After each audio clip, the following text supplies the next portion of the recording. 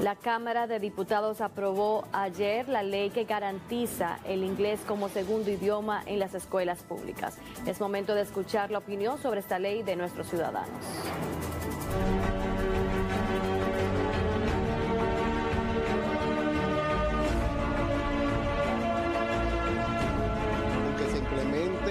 Implemente el inglés? Claro que sí. Sí, pues entonces es importante que se implemente de el nivel inicial como una segunda lengua, porque eso va en beneficio de la educación y en beneficio de la misma persona. Bueno, sí, tiene más oportunidad, más puertas abiertas y pueden estar preparados para ir a cualquier otra tierra. Entiendo que es relevante para estos tiempos.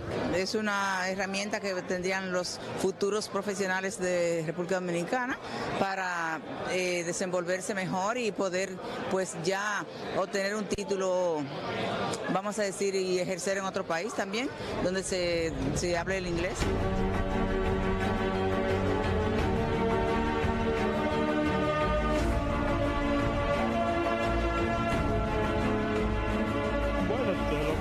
el Congreso tiene la facultad ¿verdad? de legislar y aprobar las leyes que entiendan pertinentes. Ahora entendemos que el idioma oficial nuestro es el español.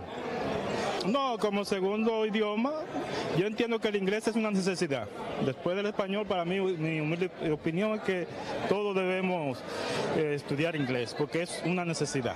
Sí, yo considero que sí, que es muy importante, porque con la globalización, el inglés como segundo idioma, pues eh, le da apertura y, y desarrollo a los niños, muy importante. Profesor de la Universidad Autónoma de Santo Domingo, Carlos Povea, también está de acuerdo con esta ley aprobada el día de ayer por el Congreso Nacional de la República Dominicana. Estoy completamente de acuerdo porque dada la gran eh, polémica que es que nuestros jóvenes de hoy en día eh, puedan progresar ya sea de manera tanto educativa como profesional, el inglés es algo absolutamente necesario. Gracias al existen lo que son los programas de intercambio, existen lo que sería eh, beneficios tanto de otros países, incluso abrirle la puerta para muchísimas oportunidades a todos estos jóvenes, incluyendo hasta que ellos puedan impartir a sus propios hijos y así poder expandir nuestras fronteras.